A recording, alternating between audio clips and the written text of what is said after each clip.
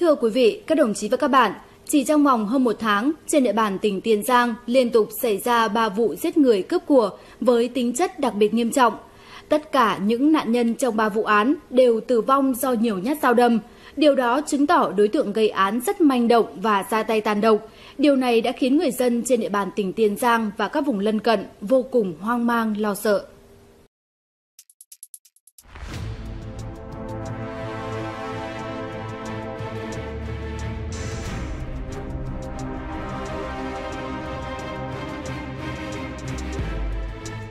Vào đêm 10 tháng 9 năm 2014, một người dân đi làm về phát hiện một người đàn ông đã chết.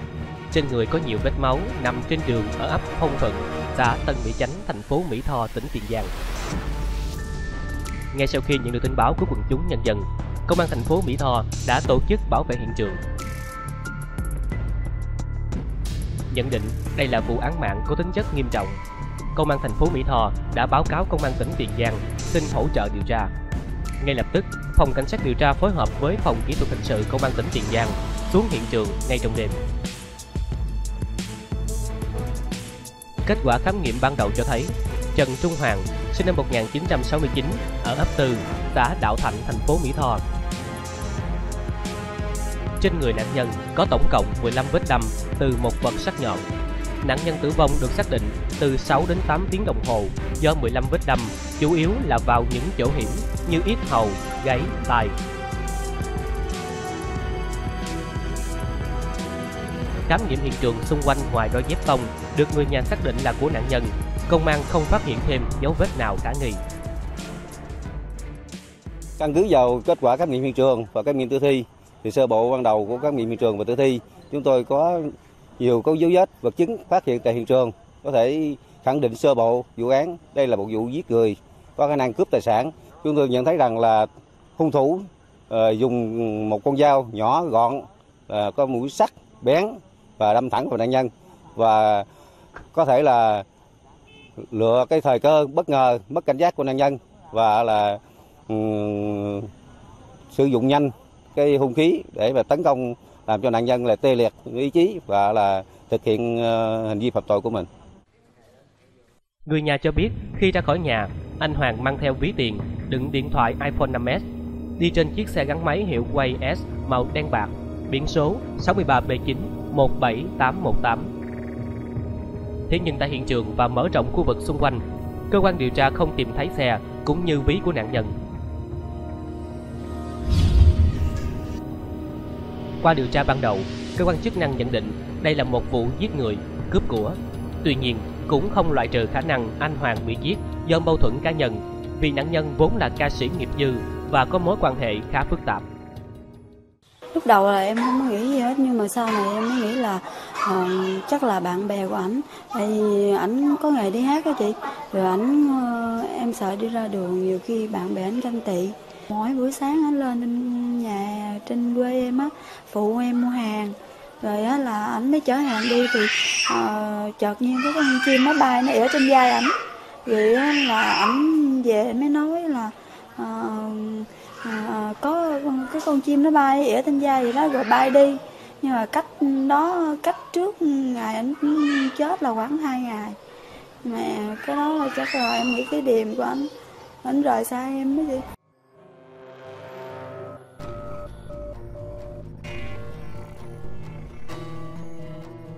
Trong khi đang điều tra vụ án giết người nói trên, thì vào ngày 16 tháng 10 năm 2014, cơ quan chức năng nhận được thông tin từ gia đình của anh Lê Hoàng Thanh, sinh năm 1981, ở ấp Giáp Nước, xã Mỹ Thạnh, thành phố Mỹ Tho, tỉnh Tiền Giang. Gia đình cho biết anh Thanh bị giết do trên người có nhiều vết dao đâm, được đưa đi cấp cứu, nhưng anh Thanh được xác định đã tử vong trước đó. Anh Thanh làm nghề xe ôm. Đêm 15, rạng sáng ngày 16, anh chạy xe ôm chở khách trên chiếc quay do Trung Quốc sản xuất. Tại vị trí anh Thành được người dân phát hiện đưa đi cấp cứu, không tìm thấy xe và ví tiền của anh. Vụ án xảy ra của cái anh Thanh thì ờ, chúng tôi chỉ phát hiện một con dao nằm ở trên cái bãi ruộng thì cái ruộng này rất là nước thì bằng các cái phương các phương tiện nghiệp vụ chúng tôi để mà tiến hành để phát hiện những dấu vết đặc biệt nhưng mà qua quan sát và tìm rất là tỉ mỉ thì không phát hiện dấu vết nào đặc biệt để ờ, phục vụ cho công tác truy nguyên đối tượng. Đặc biệt là cũng trong vụ án này thì đối tượng cũng không để lại một cái dấu vết vật chứng gì khác có liên quan đối tượng để phục vụ cho công tác truy nguyên đối tượng theo dấu vết nóng.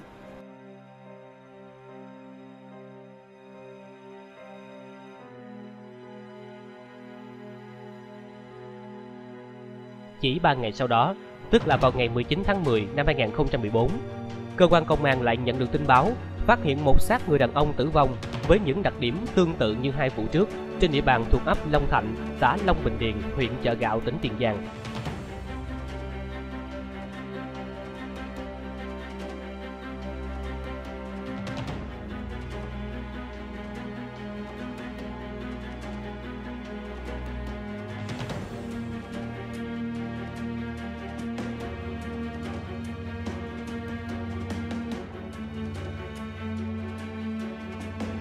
Nạn nhân được xác định là anh Trần Văn Lâm, sinh năm 1972, ở ấp 1, xã Đào Thạnh, thành phố Mỹ Tho, tỉnh Tiền Giang.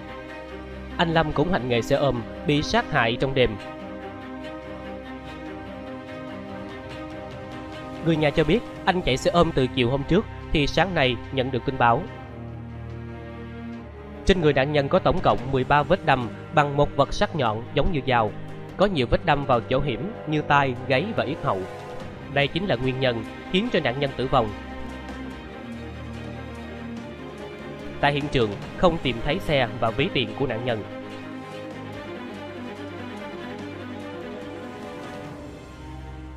Hung thủ manh động, ra tay rất tàn độc, nạn nhân trùng nhắm đến chủ yếu là những người hành nghề xe ôm, khiến cho dư luận hoang mang, lo sợ, đặc biệt là những gia đình có người thân đang làm nghề xe ôm trên địa bàn tỉnh Tiền Giang. Không thể để kẻ giết người cướp của tiếp tục ra tay, lực lượng công an quyết truy tìm hung thủ đến cùng, ngăn chặn những cái chết thương tâm có thể xảy ra.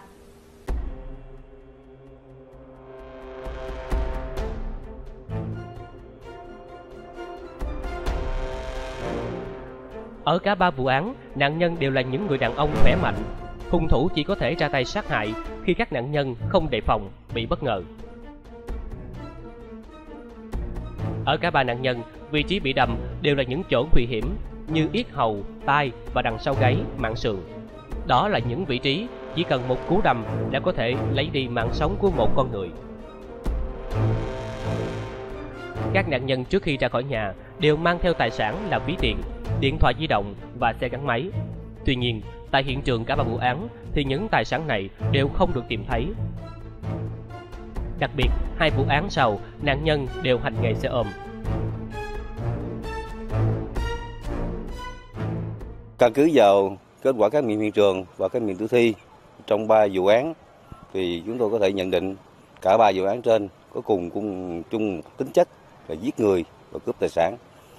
Hung thủ là thực hiện cái động cơ mục đích phạm tội và là phương thức thủ đoạn là tương đối giống nhau.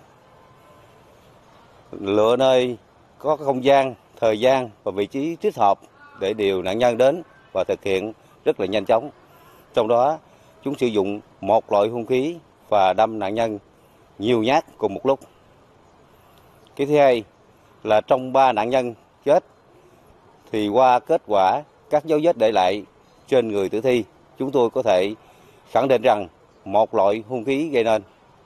Và đây là một cái loại hung khí rất là đặc biệt, có ờ, dạng dao nhỏ, gọn, lưỡi sắc và nhọn, đâm liên tục nhiều nhát và là làm cho nạn nhân tê liệt và chết nhanh nhanh trong tức khắc. Từ những kết luận của bộ phận pháp y và qua phân tích những thông tin thu thập được, ban chuyên án đã đưa ra một số nhận định. Ở vụ đầu tiên, hiện trường hầu như không có dấu vết cũng như nhân chứng. Nạn nhân lại là người có quan hệ xã hội phức tạp nên cơ quan chức năng khó trong công tác khoanh vùng nghi phạm. Tuy nhiên, đến vụ thứ hai và vụ thứ ba, hai nạn nhân đều hành nghề xe ôm. Từ đó, ban chuyên án thống nhất đi đến kết luận hung thủ sát hại các nạn nhân là để cướp của với thủ đoạn lợi dụng đêm tối, thuê xe ôm đến đoạn đường vắng rồi ra tay sát hại.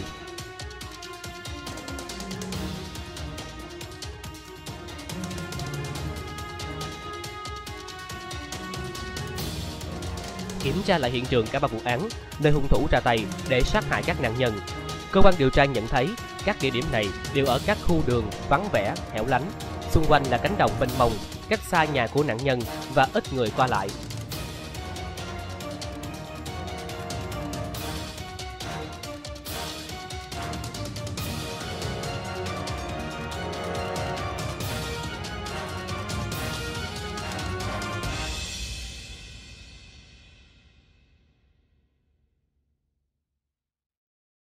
Ba cái hiện trường của ờ, là ba vụ án nó xảy ra ba ngày mình phải coi như là ba vụ án. Thì cái ờ, những người làm công tác điều tra điều tra viên chúng tôi ha cùng với lại là cái ban chỉ huy á cũng nhận định đó, là cái hiện trường thứ nhất là chỗ này đó, và cái hiện trường thứ hai là bên kia và cái hiện trường trục theo con lỗ này chị và hiện trường thứ ba thì nằm dưới. Thì ba cái hiện trường này về cái dấu vết đặc điểm của là dấu vết về là tên nạn nhân á. Thì chúng tôi khẳng định đây là một khả năng là một đối tượng nó gây ra ba vụ án cơ quan điều tra đã nhận định đây là cái vụ án giết người, cướp tài sản. Thì vậy thì là có cùng phương thức thủ đoạn. Trong ba vụ án, có cùng phương thức thủ đoạn, có cùng tính chất, có cùng đặc điểm. Ừ, từ đó là chúng tôi nhận định là có khả năng trong ba vụ án này do là một đối tượng thực hiện. Ừ, và đối tượng có nhiều khả năng là đối tượng ở địa phương. Bởi vì nếu đối tượng ở địa phương mới biết là các cái là cái đường vắng, nơi vắng mới điều nạn nhân đến để mà thực hiện hành vi giết cướp. Thủ đoạn phương thức gây án thì rất là táo bạo. Sử dụng hung khí rồi đâm nhiều nhát. Như là táo bạo mục đích là mới cướp mạng, tước đoạt mạng sống của nạn nhân để cướp tài sản. Mình cũng hướng mình tập trung rà soát tất cả các đối tượng. Tiền án, tiền sự, đặc biệt chú ý là đối tượng là nghiện ma túy, dòng các khu vực, các xã lân cận, đặc biệt chú trọng là các xã mà có xảy ra vụ án thì qua rà soát thì đó mình mới tốt lên được cũng một số đối tượng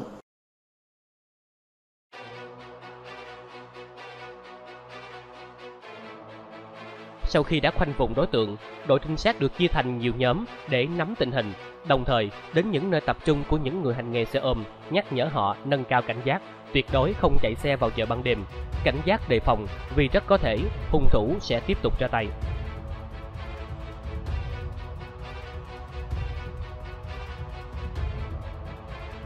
Tại khu vực thứ ba là anh Lâm thường đứng đợi đón khách. Một nhân chứng đã cho biết đêm nạn nhân bị giết hôm ấy đã là 10 giờ đêm, có một khách đến thuê xe về chợ gạo. Vì đã muộn nên trước khi chở khách đi, anh Lâm có đến nói nhỏ với mọi người rằng mấy hôm trước nghe người ta nói có vụ giết xe ôm rồi cướp của và nhờ mọi người nhìn kỹ khách để nhận dạng nhỡ có vấn đề xảy ra còn biết. Theo mô tả của nhân chứng, thì vị khách đó là nam giới trên 20 tuổi, cao khoảng 1m7, dáng người mập mạp. Tuy nhiên, người này đội mũ sụp xuống nên không rõ mặt.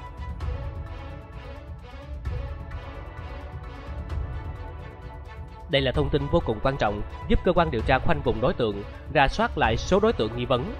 Ban chuyên án thấy nổi lên đối tượng Nguyễn Hoài Nam, sinh năm 1994, không nghề nghiệp, ở ấp Long Thạch, xã Long Thạnh, Bình Điền, chợ gạo, Tiền Giang. Có đặc điểm bề ngoài giống như từ lời của nhân chứng.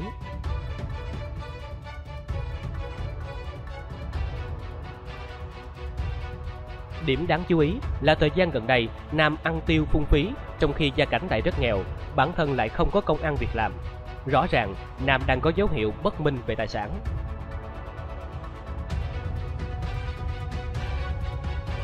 Sau khi phân tích về những dấu hiệu khả nghi của đối tượng, cơ quan công an lập tức triệu tập Nam. Tuy nhiên, đối tượng đã trốn khỏi địa phương. Gia đình không ai biết Nam đi đâu. Gia đình Nam đã phối hợp cùng với cơ quan điều tra cung cấp một số địa chỉ nghi là Nam có thể lui tới. tại thời điểm là xác minh thì tên nam này không có mặt ở địa phương ờ, và tên nam này đã bỏ địa phương đi từ lâu hiện nay nam làm gì ở đâu thì địa phương không biết nhưng bằng các biện pháp nghiệp vụ ban chuyên án đã xác định nam có mối quan hệ ở ninh thuận. Cụ thể là có một bạn gái ở huyện ninh sơn của tỉnh ninh thuận. Do vậy, và những ban chuyên án nhận định là có khả năng là tên nam hiện nay là đang ở ninh thuận. Do vậy, ban chuyên án đã là cử một tổ ờ, công tác ra phối hợp với công an tỉnh ninh thuận để là xác minh truy bắt tên nam. Rồi, khi là nhận được ờ, phân công của bám đốc cũng như là ban chỉ huy của chuyên án thì ờ, tôi trực tiếp cùng điều tra viên mình dạch kế hoạch ờ, tức tốc lên đường ra ninh thuận. Ra ngoài thì mình cũng phối hợp với bc 45 ninh thuận công, công an huyện ninh sơn. Bố trí chủ yếu là phục chỗ là giám sát chỗ nhà chỗ là thủy là bạn gái của nam để là là trà nam xuất hiện thì mình phục là ba ngày. Thì đến 8 giờ của ngày à, 25 tháng 10 25 24 thì Nam xuất hiện tại quán cà phê suối đá chỗ khu phố 7 thị trấn Ninh Sơn. Kế hoạch lập ra như sau. Đội trinh sát được cử đi Ninh Thuận, phối hợp với công an Ninh Thuận, áp sát theo dõi quanh khu nhà bạn gái đối tượng, đồng thời theo dõi sát sao mọi hành vi của bạn gái Nam để từ đó lần tìm dấu vết của hắn.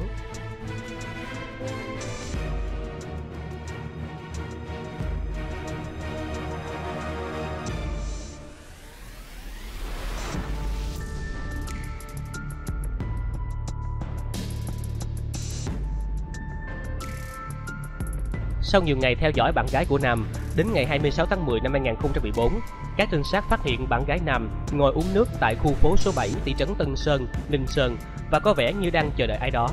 Khoảng 15 phút sau, Nam xuất hiện.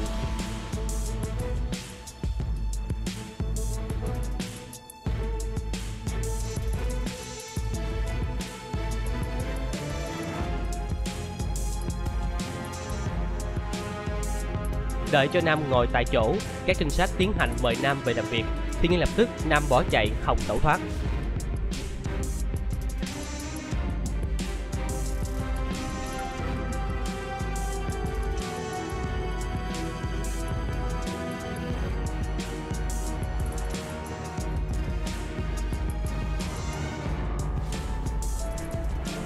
Tại cơ quan điều tra, khi được hỏi tại sao lại chạy trốn, thì Nguyễn Hoài Nam không trả lời được và cũng không khai báo gì cả. Cho đến khi các điều tra viên đưa ra tình tiết chiếc điện thoại iPhone 5s mà bạn gái của Nam đang dùng chính là điện thoại của anh Hoàng, nạn nhân bị giết thứ nhất. Khi đó, Nam mới nhận tội và thành khẩn khai báo.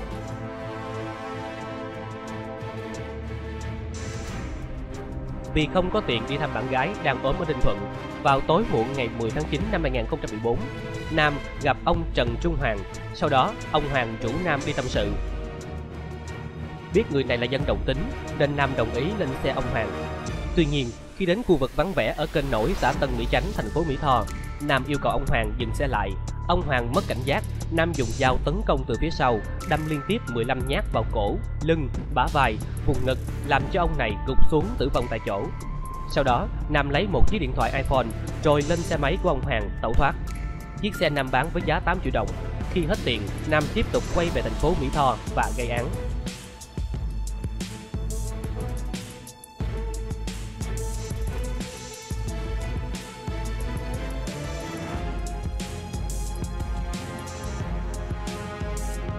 Rạng sáng ngày 16 tháng 10 năm 2014, Nam thuê anh Lê Hoàng Thanh là người hành nghề xe ôm chở từ Nguyễn Thị Thành, thành phố Mỹ Tho về chợ gạo.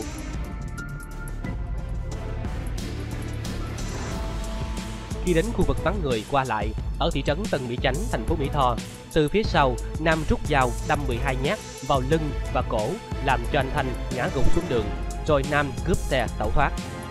Sau đó, anh Thành cố vươn người, bò vào nhà dân nhờ giúp đỡ, nhưng trên đường đi cấp cứu thì anh Thành đã tử vong. Vì thấy việc gây án trót lọt không để lại dấu vết, nên Nam nảy sinh ý định tiếp tục thực hiện tội ác này.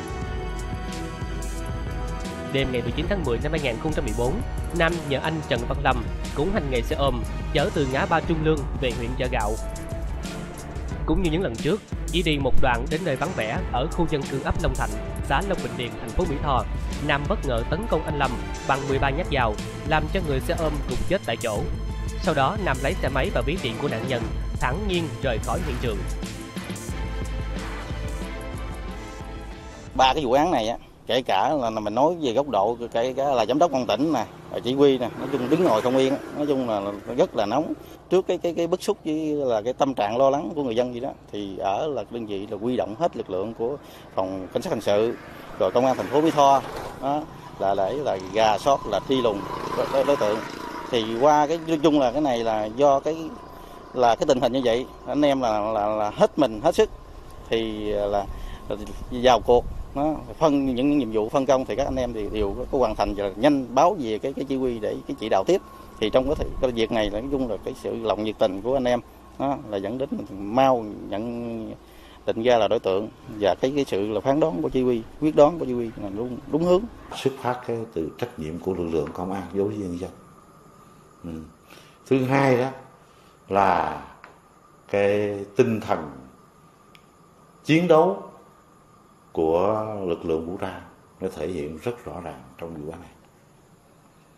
Liên tục là không ngơi nghỉ và khi kết thúc bắt đúng đối tượng rồi là cũng tiếp tục điều tra mở rộng để xem xét có, có còn có tổ chức hay không có nhiều đối tượng hay không hay chỉ một đối tượng và phối hợp với các cái ngành liên quan đó là diện với tòa để đưa ra xét xử nhanh nhất để mà là răng đe đối tượng. Và đó là cũng báo cáo với nhân dân rằng công an có trách nhiệm rất cao và là làm việc rất có hiệu quả.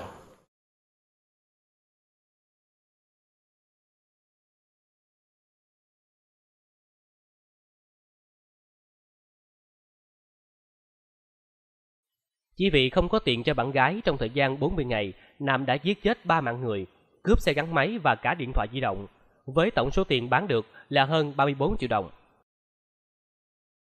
Tôi rất hối hận vì những việc tôi đã làm. Tôi cho tôi gửi lời xin lỗi mấy gia đình nạn nhân. Tôi không hiểu sao mà tôi có thể làm được như vậy. Tôi không dám nhìn sự ân xá của chủ tịch nước. Vì tôi làm, tôi xin được chịu. Sáng ngày 21 tháng 4 năm 2015, Tòa án Nhân dân tỉnh Tiền Giang mở phiên tòa lưu động xét xử sơ thẩm bị cáo Nguyễn Hoài Nam với thủ đoạn hết sức giả mang. Nguyễn Hoài Nam đã sử dụng dao chuẩn bị sẵn, đâm quyết liệt nhiều nhát vào những vùng nguy hiểm của nạn nhân nhằm tước đoạt mạng sống của người khác để chiếm đoạt tài sản, phục vụ cho việc tiêu xài cá nhân. Hành vi phạm tội của Nguyễn Hoài Nam không những đã trực tiếp xâm hại đến tính mạng mà còn xâm phạm đến quyền sở hữu tài sản hợp pháp của người khác, được pháp luật bảo vệ, gây dư luận xấu trong quần chúng nhân dân, ảnh hưởng xấu đến trật tự xã hội tại địa phương. Tòa tuyên án bị cáo Nguyễn Hoài Nam tử hình về tội giết người, 18 năm tù về tội cướp tài sản, tổng hình phạt tử hình. Đây là bản án thích đáng cho kẻ đã cướp đi mạng sống của ba người. Nếu cơ quan cảnh sát điều tra công an tỉnh Tiền Giang không phá được vụ án, bắt Nguyễn Hoài Nam kịp thời, chắc có thể Nam sẽ tiếp tục gây án. Danh sách nạn nhân có thể sẽ còn tiếp tục kéo dài.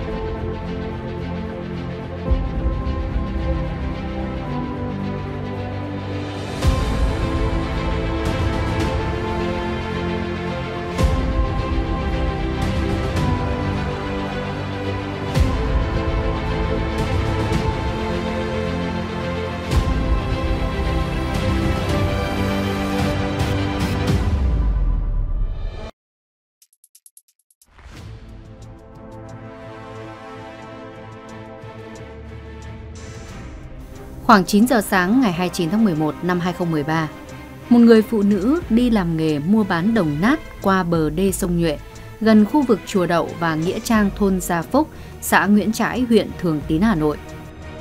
Đã phát hiện một xác nam giới đã cháy đen, mặt mũi biến dạng trong tư thế nằm ngửa dưới đất. Hốt hoảng không tin vào mắt mình, người phụ nữ đã vội chạy đến báo với quản trang khu vực nghĩa địa này. Và ngay sau đó những thông tin ban đầu về xác chết đã được báo đến cơ quan công an.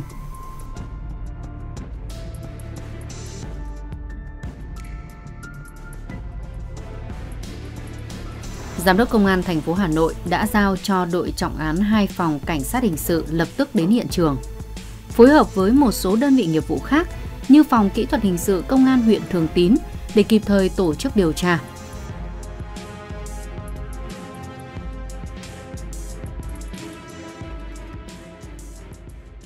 Chúng tôi đã cử lực lượng xuống hiện trường.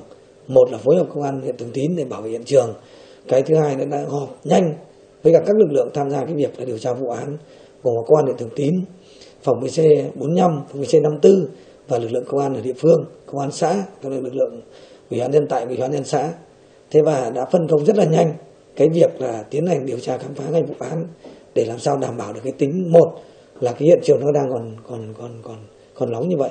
Cái thứ hai nữa là đối tượng thời gian gây án đó là còn rất gần thì chúng ta có thời gian để mà truy nguyên được đối tượng và làm rõ được nội dung vụ án nhanh nhất. Qua công tác khám nghiệm hiện trường, xác định thi thể nạn nhân bị đâm nhiều nhát dao vào vùng lưng, gáy, ngực. Xung quanh khu vực gây án vẫn còn nhiều vết máu. Khi tiếp cận đến hiện trường là chúng tôi coi như có tiến hành công tác khám nghiệm ngay và trong quá trình coi như khám nghiệm thì chúng tôi đã phát hiện ra được coi như rất nhiều coi như các cái dấu vết nó còn để lại trên hiện trường. Ví dụ như là các cái dấu vết máu đấy, vương vãi coi như khắp trên hiện trường. Thế rồi các cái dấu vết mà có cái màu thâm đen mà cái dấu vết đấy là coi như chúng tôi kiểm tra và phát hiện nó có mùi xăng dầu. Đấy. tiếp đến là ở cạnh đó là có những cái cái cái ờ, uh, tàn than cho nó cháy từ trên phía mặt đường kéo xuống coi như là cái cái cái cái, cái ta luy ta luy đường và đến tới vị trí coi như của nạn nhân nằm. Xung quanh khu vực vị trí nạn nhân là có rất nhiều coi như các cái lá cây nó bị cháy táp lá. Đặc biệt là trên coi như tử thi là toàn bộ quần áo đầu tóc mặt và tương đối là toàn thân của tử thi là đều bị cháy than hóa người ờ, cơ thể tử thi thì bị co quắp và biến dạng. Mặt thì bị ám khói coi như rất đen. Cho nên cái khả năng nhận diện ra đối tượng là rất khó khăn. Đấy, ban đầu chúng tôi xác định như thế. Căn cứ vào một số các cái dấu vết ở trên coi như tử thi nữa là có rất nhiều coi như các cái thương tích các cái vết đâm Đấy, trên ờ, trên trên cơ thể cả phía trước và cả phía sau. Đấy, cho nên là bước đầu coi như chúng tôi có, có những cái nhận định đánh giá về đây là một vụ giết người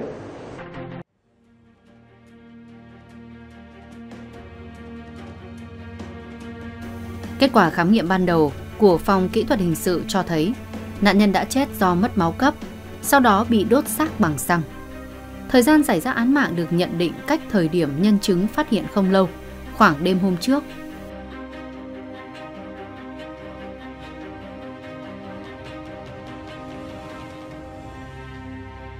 Nơi xảy ra vụ án là khu vực D ngay sát nghĩa trang vắng người qua lại, nên khả năng thủ phạm đã có dự tính trước khi điều nạn nhân đến đây để gây án.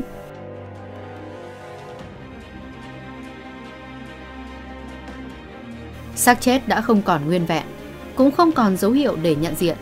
Một câu hỏi lớn đặt ra cho các điều tra viên lúc này là làm thế nào để xác định được danh tính nạn nhân.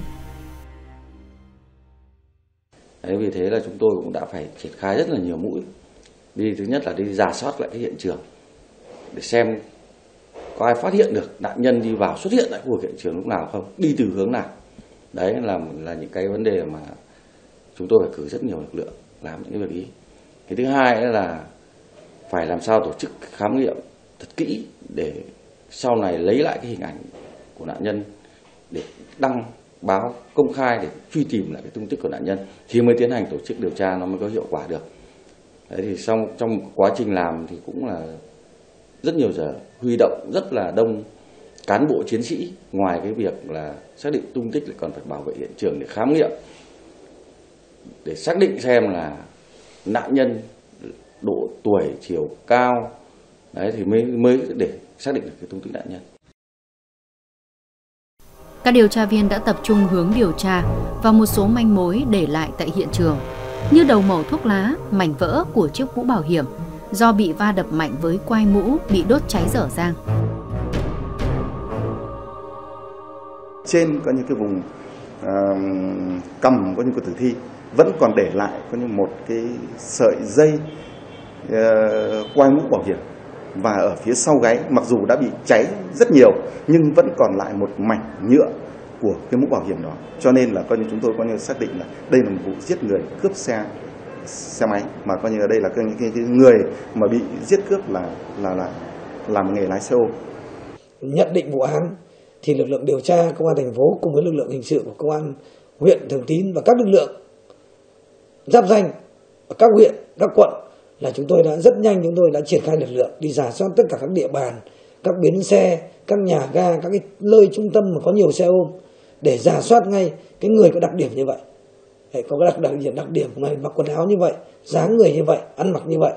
Thế mà qua quá trình là chúng ta làm rất nhanh thì đến đầu giờ chiều chúng ta đã xác định được tung tích nạn nhân là một cái bị hại mà người ta xuất phát là từ bến xe phía nam chở đối tượng đi. Danh tính nạn nhân dần được xác định là ông Mai Hồng Quảng, 59 tuổi, quê ở huyện Yên Mô, tỉnh Ninh Bình, trú tại tổ 27 phường Giáp Bát, quận Hoàng Mai, Hà Nội. Theo nguồn tin thì trước đây ông Quảng làm công nhân trong nhà máy cơ khí CK120 trên đường Trương Định, quận Hoàng Mai, Hà Nội và được cơ quan phân cho một căn nhà tập thể ở tổ 27, phường Giáp Bát. Ông Quảng cũng từng có tới 3 đời vợ, ba người con nhưng không sống chung với ai và ở một mình tại căn nhà mà cơ quan phân cho. Cách đây 5 năm, ông Quảng về hưu và sống bằng nghề chạy xe ôm ở cổng sau của bến xe Giáp Bát. Thường ngày hàng xóm vẫn thấy ông đi làm từ 19 giờ đến 22 giờ thì trở về nhà. Bác Quảng là hàng xóm nhà tôi thì ờ, bác cũng là xe ôm mà tôi cũng là xe ôm. Thế thì ờ, nói chung là bác cái sinh hoạt thì rất đều đặn và bác ấy đi thì hôm nào mà muộn lắm là tầm 10 giờ 10 rưỡi. Còn đa phần là bác ấy về sớm hơn, vì bác ấy bản thân là sống có một mình. Thế thì ờ, cái hôm mà xảy ra cái vụ án ấy thì là bác ấy đi thì 9 giờ, bác ấy quay về nhà, bác ấy mặc thêm quần áo thì bác lại nổ máy, bác lại đi. Từ những đặc điểm về nhân thân đã khiến cơ quan điều tra đặt câu hỏi, liệu cái chết của nạn nhân có liên quan đến chuyện tình ái hay không?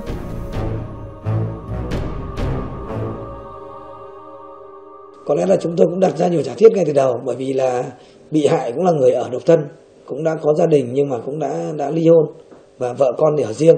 Thế nhưng qua nắm tình hình ở địa phương ấy, thì thấy rằng là một là cái người bị hại ra ở là rất là chăn hòa nhẹ nhàng không có va chạm với ai. Cái thứ hai là chủ yếu lại đi làm thêm buổi tối thôi chứ ban ngày không đi. Thế mà là một con người là lúc nào cũng chỉnh chu ăn mặc rất đàng hoàng sạch sẽ. Cho nên là cái việc mà xác định là có việc mâu thuẫn bên ngoài là rất ít của những nhân dân cung cấp như vậy. Thế và tối hôm trước thì người ta vẫn xác định là bị hại vẫn cứ đi về nhà lúc trước 6 giờ. Thế cho nên với những cái nhận định và cái, cái, cái xác minh ban đầu ấy chúng tôi khẳng định rằng là những cái nguyên nhân về vấn đề mâu thuẫn trong sinh hoạt thế rồi mâu thuẫn về tình ái là khả năng rất ít.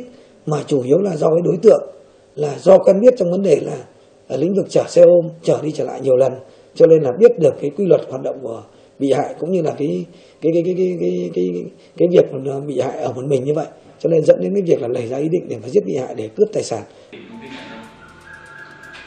Liên tiếp sau đó là những cuộc hội ý chớp nhoáng được diễn ra. Và sau khi đi đến thống nhất, các điều tra viên nhận định nhiều khả năng nạn nhân bị đối tượng cướp xe ôm, sau đó đốt xác phi tang. Nhận định này dường như hơi táo bạo, ít phù hợp với quy luật của các vụ cướp xe ôm thông thường. Tuy nhiên nó lại phù hợp với tính chất những vụ án xảy ra gần đây vì mục đích che giấu hành vi phạm tội của mình mà các đối tượng có thể ra tay man dợ với nạn nhân khiến cho cơ quan điều tra khó tìm ra được tung tích của nạn nhân. Tuy nhiên có một câu hỏi lớn chưa có được lời giải đáp trong vụ án này là thủ phạm có phải là người quen, thân với nạn nhân hay không? Bằng cách nào để tìm ra thủ phạm? Những câu hỏi nghi vấn luôn được đặt ra. Liệu thủ phạm giết nạn nhân cướp tài sản là chiếc xe máy hay có mục đích nào khác?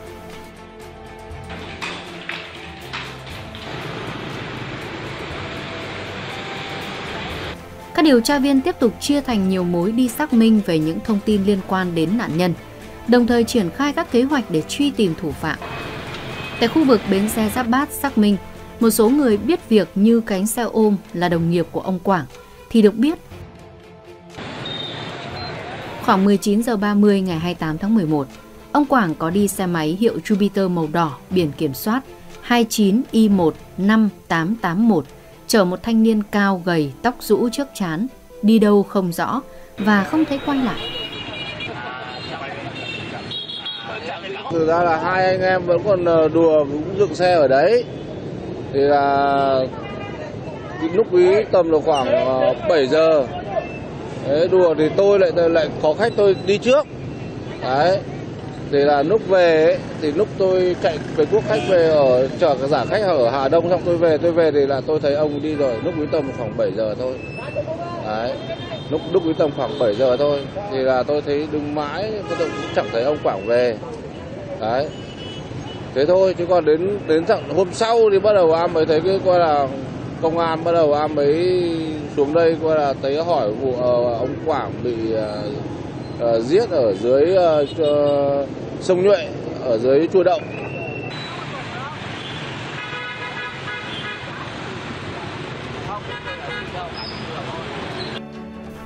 Qua quan sát của điều tra viên, thì tại bến xe này được lắp đặt nhiều camera giám sát các hoạt động của khách ra vào bến.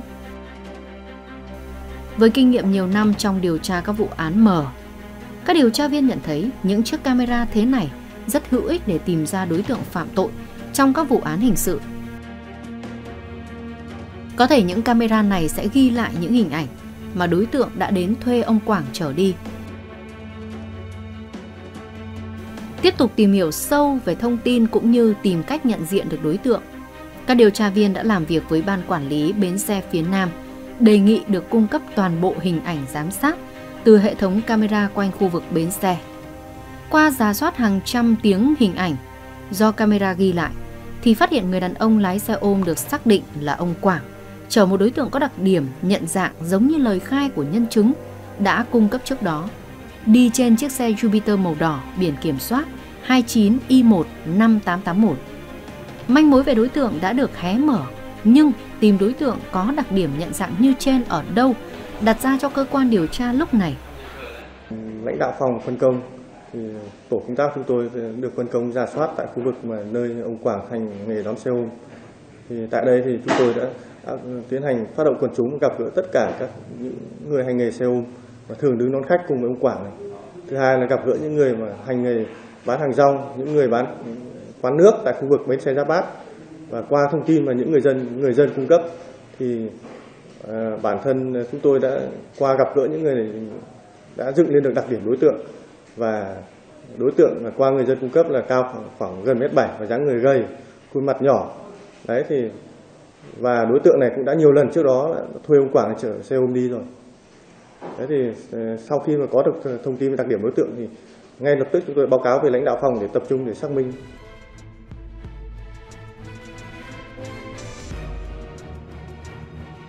Trong khi ấy, một mũi điều tra viên khác được cử đi xác minh về chiếc Jupiter mang biển kiểm soát 29I15881 tại các cửa hiệu cầm đồ, chợ xe cũ.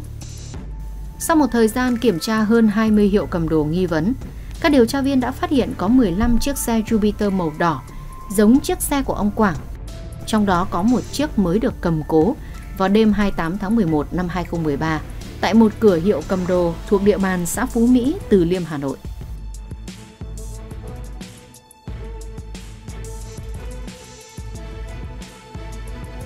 Kiểm tra sổ sách ghi chép của cửa hàng này thì phát hiện chiếc Jupiter mang tên ông Mai Hồng Quảng quê Ninh Bình – trùng với tên nạn nhân. Có cả chứng minh nhân dân mang tên ông Quảng và giấy tờ xe. Cũng theo mô tả của chủ hiệu cầm đồ, thì đối tượng đặt xe có nhiều đặc điểm giống với đặc điểm của đối tượng ngồi sau xe ôm của ông Quảng tại bến xe Giáp Bát. Trong sổ ghi chép của hiệu này vẫn còn lưu bản chứng minh nhân dân photo của người đến cầm xe. Người đó tên là Nguyễn Văn Đạt, quê tại Yên Thịnh, huyện Yên Định, tỉnh Thanh Hóa. Thông tin này là một trong những manh mối quan trọng để tìm ra thủ phạm. Ngay lập tức, các điều tra viên báo về trung tâm chỉ huy, đồng thời làm thủ tục thu giữ chiếc xe máy Jupiter là vật chứng của vụ án để phục vụ công tác điều tra. Qua giả soát tại cửa hàng cầm đồ tại khu vực Mỹ Đình của Từ Liêm thì tại cửa hàng cầm đồ của anh Mai Thanh Tuấn thì chúng tôi đã phát hiện ra là đối tượng trước đó sau khi mà giết hại ông Quảng mang xe máy đến và cầm cố cho chỗ cửa hàng của anh Tuấn này và ừ, khi phát hiện được chiếc xe máy thì tổ công tác chúng tôi là rất vui mừng và thông tin ngay lập tức đã được báo cáo về ban chỉ ban chỉ huy và xác định là đối tượng Nguyễn Văn Đạt sinh năm 1993 ở Yên Định Thanh Hóa. Sau khi chúng tôi xác định về đối tượng Đạt thì, thì chúng tôi đã Ờ, dựng lại tất cả những mối quan hệ là người thân của Đạt. Nhưng bước đầu thì những người thân của Đạt thì không xác định được Đạt cư trú ở đâu. Nhưng về quê quán, địa chỉ của Đạt thì chúng tôi đã xác minh làm rõ. Chúng tôi tổ chức lực lượng để đi truy tìm Đạt.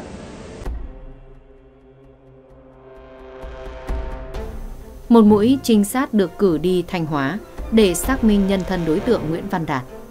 Tại đây lực lượng công an địa phương cho biết Nguyễn Văn Đạt có hộ khẩu thường trú tại xã Yên Thịnh, huyện Yên Định, nhưng đối tượng này đã đi làm ăn ở Hà Nội gần 2 năm nay.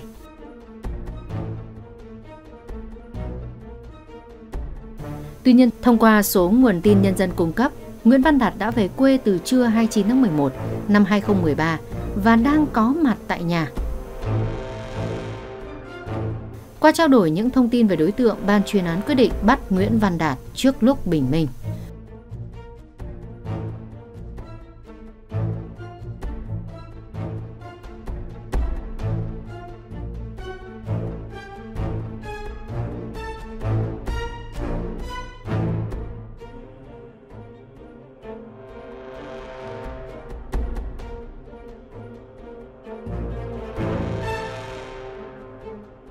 Quê đạt thì ở vùng núi, rất là, đường rất là khó đi.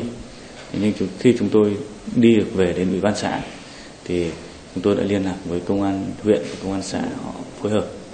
Và chúng tôi không đi ô tô vào nhà đối tượng đạt mà chúng tôi, tất cả tổ công tác đều phải đi bộ. Thì đi hơn hai cây số thì mới đến nhà đạt và khi đến nhà đạt thì chúng tôi cũng đã lập kế hoạch chu đáo để bao vây nhà đạt một tổ thì chỉ có hai đồng chí thôi là gọi cửa cổng chính để để bố đạt ra mở cổng hoặc người thân đạt ra mở cổng. Còn tất cả những lực lượng chúng tôi thì đã bao vây xung quanh nhà đạt các đường có rất nhiều đường có thể đối tượng có thể nhảy tường hoặc nhảy ừ, đường qua hàng rào để ra phía sau hoặc bỏ trốn. Nên chúng tôi đã lập kế hoạch chú đáo và bao vây nhà đạt Vào lúc 4 giờ sáng ngày 30 tháng 11 năm 2013, trong khi người dân thôn 4 xã Yên Thịnh vẫn còn chìm giấc ngủ, thì bất ngờ các điều tra viên đã ập vào nhà Đạt, bắt gọn khi hắn vẫn còn đang mơ màng trước sự chứng kiến của chính quyền địa phương.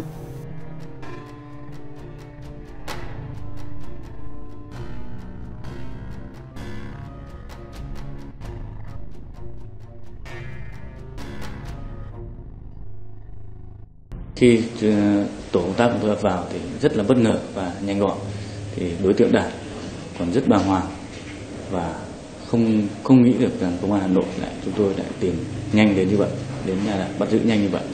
Và đạt đã ngất nhiều lần. Và với cái thương tích ngay sau khi chúng tôi kiểm tra thân thể đạt thì cũng đã thấy thương tích uh, trên tay đạt vết thương sắc gọn và cái việc nghi vấn đó thì chúng tôi lại càng xác định hơn là đối tượng đạt là đối tượng gây án. Ngay trong sáng ngày 30 tháng 11, Nguyễn Văn Đạt đã được đưa về số 7 Thiền Quang, trụ sở của phòng cảnh sát điều tra tội phạm về trật tự xã hội công an thành phố Hà Nội để phục vụ công tác đấu tranh khai thác. Sau nhiều cuộc xét hỏi, Đạt vẫn không khai nhận hành vi sát hại ông Quảng để cướp xe. Tuy nhiên các điều tra viên đã thay đổi chiến thuật hỏi cung kết hợp với việc đưa ra những chứng cứ xác đáng. Cuối cùng Nguyễn Văn Đạt đã phải cúi đầu khai nhận hành vi phạm tội của mình. Vậy vì sao Nguyễn Văn Đạt lại giết người cướp tài sản? Đạt khai chỉ vì cần tiền để bao cho bạn gái. Cách đây vài tháng, Đạt tình cờ làm quen với một cô gái khá xinh là ca sĩ chuyên hát ở các tụ điểm quán bar. Không hiểu sao cô ca sĩ này cũng thích hắn, trong khi một kẻ làm nghề hàn xì cửa sắt như hắn, một tháng giỏi lắm cũng chỉ kiếm được vài triệu tiền lương, không đủ để mua son phấn cho cô. Vay tiền bạn bè nhiều cũng ngại. Đạt đã liều lĩnh nghĩ đến việc thuê xe ôm rồi giết, cướp lấy tiền.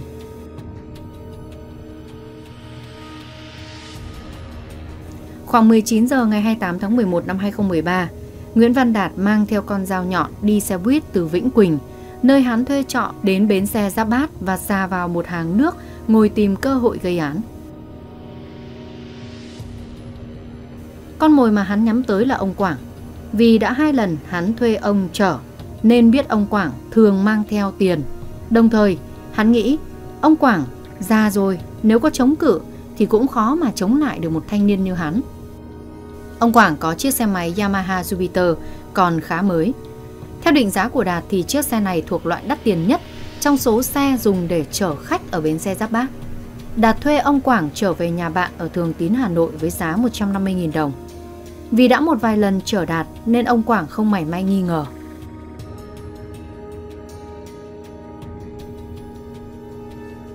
Đi qua khu vực Thường Tín Đạt bảo ông Quảng, rẽ qua khu vực chùa Đậu. Đường đến chùa Đậu phải rẽ theo một triền đê dưới dòng sông Nhuệ.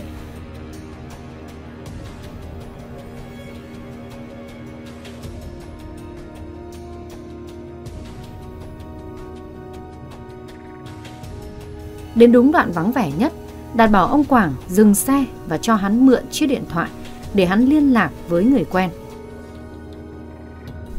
Xe dừng lại, Đạt giả vờ đi xuống một đoạn để gọi điện thoại. Khi quay lại hắn bất ngờ rút con dao nhọn thủ sẵn trong người, đâm từ phía sau liên tiếp vào vai, vào lưng khiến người xe ôm tử vong ngay lập tức.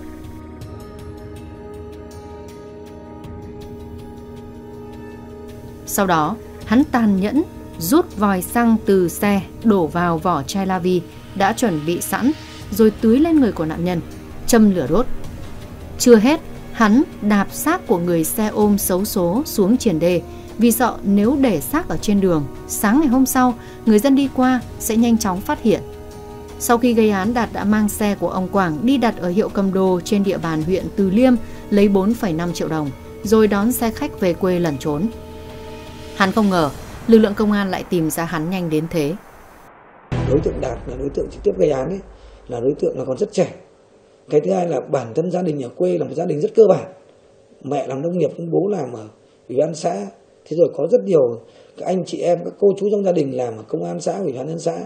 Và bản thân Đạt cũng được nuôi ăn học rất đơn cơ bản. Sau đó lớn lên thì đi lên Hà Nội và đã làm thuê qua nhiều địa điểm rồi. Và phải nói rằng quá trình làm thì cũng rất tốt, không vấn đề gì nhưng ở đây chúng ta thấy rằng này trong quá trình đi làm các cháu nó phát sinh ra những vấn đề ví dụ như là quan hệ nam nữ vấn đề ăn chơi đua đòi vấn đề sử dụng tiền vào những việc ví dụ như là cờ bạc rồi chơi điện tử thâu đêm suốt sáng hoặc là mua quà tặng sinh nhật thì từ những việc đấy nó xuất phát những việc là cần tiền. Mà những việc từ cần tiền không chính đáng không do cái cái sức lao động của mình làm ra thế cho nên là các cháu nó dễ dẫn đến vào cái việc là gì là phạm tội. Mà trong một phút rất là suy nghĩ rất là là, là đơn giản thôi các cháu có thể tước đoạt đi tính mạng sự sống của người khác để cưỡng đoạt một cái xe máy hoặc là những cái tài sản có giá trị khác mà trong vụ cháu đạt là một điển hình. Thì trong vụ án này chúng tôi cũng cảnh báo là gì? Đối với các, các cháu thanh thiếu niên hiện nay ở các miền quê lên các tỉnh đặc biệt như hà nội để làm ăn sinh sống là một nhu cầu hết sức cấp thiết đối với cả mọi người thôi. Nhưng mà trong quá trình sinh sống làm việc thì làm sao đấy chúng ta một là giữ được cái cái, cái chất của người lao động. Cái thứ hai là chúng ta sinh hoạt ăn ở thế rồi là tiêu pha và các quan hệ khác nó đúng mực nó đúng với cả cái việc mà mình có thể đồng tiền mình kiếm ra được.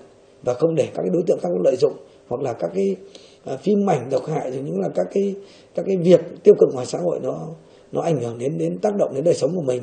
Và từ những việc đấy là các cháu rất dễ hư rất đến dẫn đến là cái việc là gì? Là sử dụng đồng tiền nó không có mục đích chính đáng. Thế và kiếm tiền không có mục đích chính đáng và từ đó nó sẽ phát sinh ra các loại tội phạm. Với những nỗ lực và quyết tâm cao, chỉ trong một thời gian ngắn, lực lượng công an Hà Nội đã phá nhanh vụ án, bắt thủ phạm phải đền tội trước pháp luật.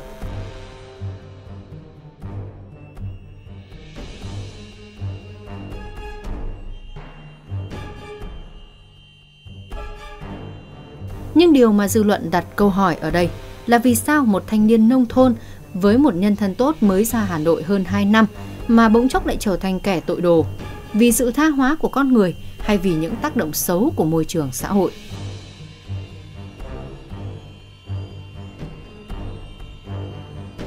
Thưa quý vị, khi Đạt bị bắt giữ, cả khu xóm nhỏ ở xã Yên Thịnh trở nên náo loạn bởi tiếng gào khóc của những người thân trong gia đình Đạt.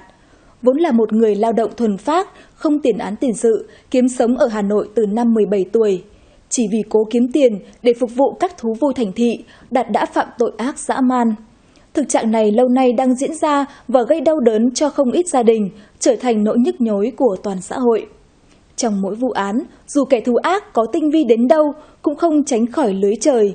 Vậy mà sao những kẻ như Nguyễn Văn Đạt vẫn không ngộ ra được điều đơn giản ấy, để giờ đây trước mắt hắn sẽ là bản án nghiêm khắc của pháp luật. Chương trình hành trình phá án của truyền hình Công an Nhân dân đến đây là hết. Cảm ơn quý vị, các đồng chí và các bạn đã quan tâm theo dõi.